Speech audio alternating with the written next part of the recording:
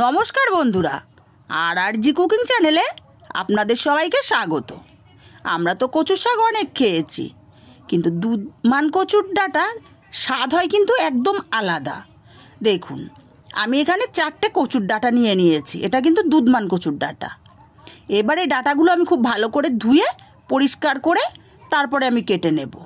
দেখুন, আমি কেটে নিয়েছি। এখন আমি আবারও ডাটাগুলোকে ধুয়ে নেব। আমি ডাটা ধুয়ে নিয়েছি আর এদিকে কড়া বসিয়ে গরম করে আমি দিয়ে দিয়েছি তেল। এখন আমি তেলটা গরম করে দিয়ে দিলাম চিংড়ি মাছগুলো।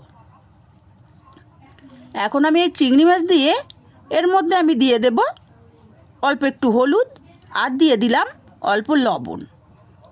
দিয়ে আমি চিংড়ি মাছগুলো ভালো করে ভেজে নেব। দেখুন, চিংড়ি মাছগুলো আমার ভাজা হয়ে গেছে। আমি এবার চিংড়ি মাছগুলো তুলে নিচ্ছি।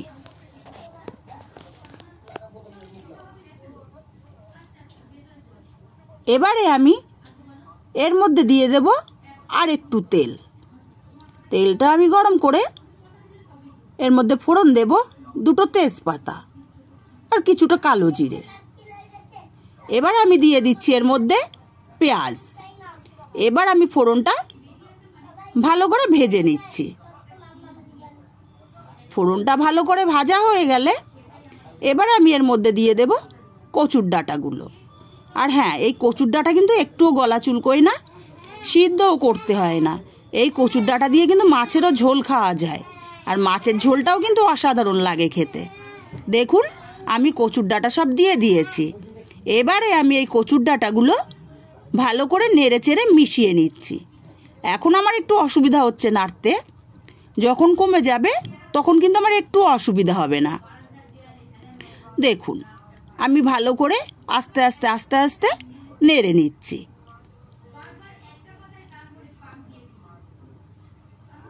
দেখুন, আমার কচুর শাকগুলো কিন্তু অনেকটাই কমে এসছে।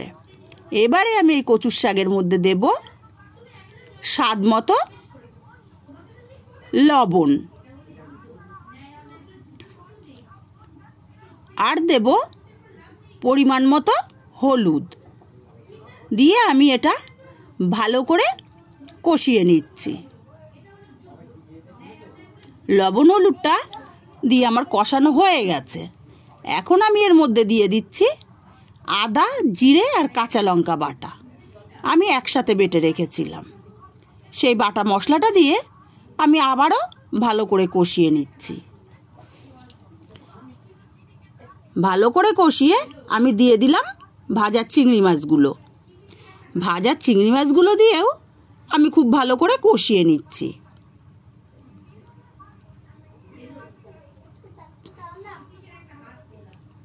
দেখুন, আমি বেশ ভালো করে কষিয়ে নিয়েছি। এবারে আমি একটা থালা দিয়ে ঢাকা দিয়ে দিচ্ছি।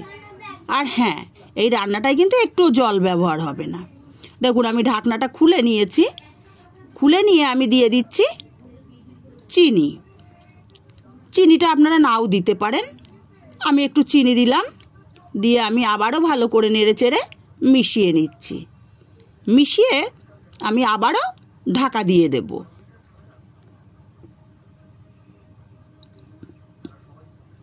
দেখুন, আমি মিশিয়ে নিয়েছি। এবার আমি একটা থালা দিয়ে আবারও ঢাকা দিয়ে দিচ্ছি। আমি এবার ঢাকাটা খুলে নেব।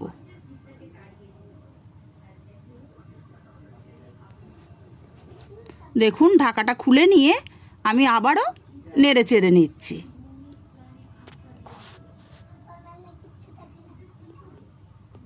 দেখুন, আমার কচুর শাকটা কিন্তু হয়ে এসছে।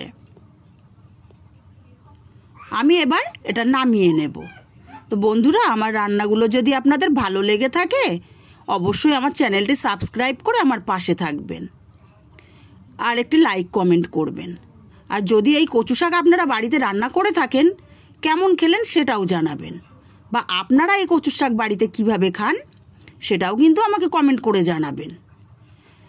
আর নতুন নতুন রান্না পেতে আমার চ্যানেলটি সাবস্ক্রাইব